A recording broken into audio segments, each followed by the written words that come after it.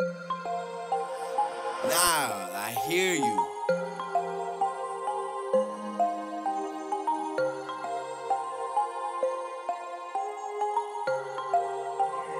Hey, E Butter, what you want?